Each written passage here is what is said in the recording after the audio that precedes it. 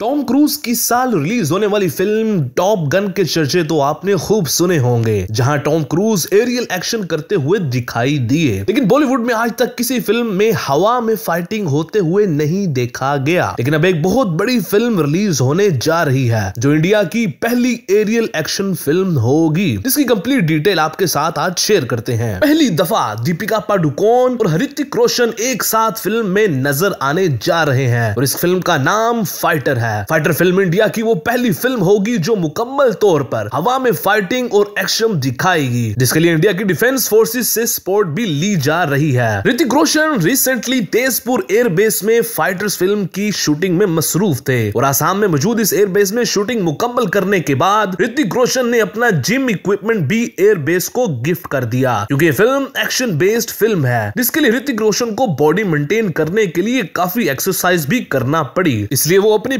Personal gym tools अपने साथ रखते थे। और जैसे ही फ़िल्म का शेड्यूल खत्म हुआ तो उन्होंने अपने personal tools Tezpur air base को गिफ्ट कर दिए। ऋतिक रोशन का कहना था कि फाइटर फ़िल्म उनके करियर की सबसे बड़ी फ़िल्म है। ये फ़िल्म इंडियन सिनेमा को एक अलग लेवल पर ले जाएगी, जिस तरह का इस फ़िल्म में वर्ल्ड दिखाया जा रहा है। और इसके वीएफएक्स की वजह से ऋतिक ने फाइटर फ़िल्म करने का फैसला किया। ऋतिक रोशन का कहना था कि फाइटर फ़िल्म के ज़रिए हम इंडिया का सुपर हीरो बनाने जा रहे हैं, जिसे लोग खूब पसंद भी करेंगे। जबकि दीपिका पाडुकोन का कहना था कि उनकी और हृतिक की जोड़ी को खूब सराहा जाएगा। फाइटर फ़िल्म को सिद्धार्थ आनंद डायरेक्ट कर रहे हैं। ऋतिक रोशन की सिद्धार्थ आनंद के साथ ये तीसरी फ़िल्म होगी। इससे पहले ऋतिक रोशन बैंग बैंग और वॉर में भी सिद्धार्थ आनंद के साथ काम कर चुके हैं। जबकि दीपिका पाडुकोन की ये फाइटर फ़िल्म सिद्धार्थ आनंद के साथ दूसरी फ़िल्म होगी। जबकि पहली फ़िल्म पठान है। पठान फ़िल्म को भी सिद्धार्थ आनंद डायरेक्ट कर चुके हैं। जबकि इस फ़िल्म में शाहरुख खान और दीपिका पाडुकोन एक साथ एक्शन करते हुए दिखाई देंगे। फाइटर फ़िल्म इस साल सितंबर के महीने में रिलीज़ होने जा रही थी, मगर सितंबर 2023 में सालार भी रिलीज़ होने जा रही है, जिसमें प्रभास अदाकारी करते हुए नज़र आएँगे। और ये फ़िल्म के जी एफ़ मेकर्स, हमबाले फ़िल्म और के जी एफ़ फ़िल्म के डायरेक्टर प्रशांत नील डायरेक्ट कर रहे हैं। और इसी वजह से क्लैश से बचते हुए फाइटर फ़िल्म की रिलीज़ अगले साल जनवरी ट्वेंटी फिफ्थ